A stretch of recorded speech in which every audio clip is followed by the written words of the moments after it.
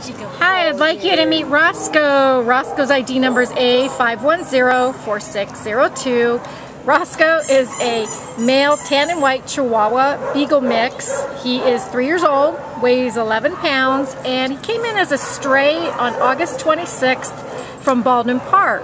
Uh, what else do you want to say about him, Kristin? You know what? He's he's a sweet guy. He's a little nervous here. Um, he wasn't sure about the. When the gate was closed, his tail was wagging. But then he got nervous once I opened the kennel door. Um, didn't try to bite, but he was a little on guard. He loves other dogs. He just thinks they're the cat's meow. He walks along leash. He's kind of curious, kind of looking at what's happening around him.